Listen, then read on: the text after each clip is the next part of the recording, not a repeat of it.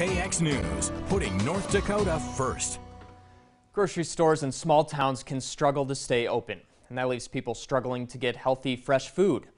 Now some lawmakers want to find ways to fix the problem. Fewer than 100 people live here in Driscoll. Even fewer work here, especially after Norm's Grocery closed down a few years ago. It's a huge impact when people have to travel for groceries. They tend to buy all their other products at a neighboring community. This is where Norm's Grocery used to be. You can see a window boarded up, closed sign in the window. There's still stuff inside when you peek in that has been left there for years. Now, the post office that was in this building, the cafe next door, they've both been forced to close since then.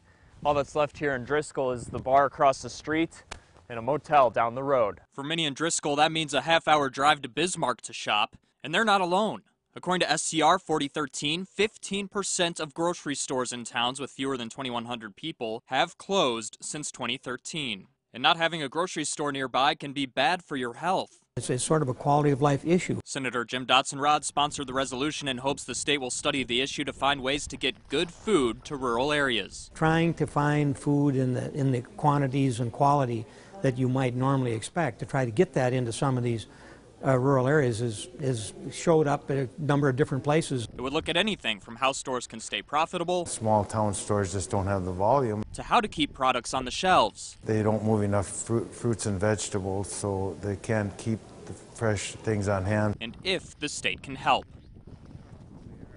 The Senate's already approved the resolution. If the House does too, the study's results will be presented to the next legislative assembly in two years. Well, today, lawmakers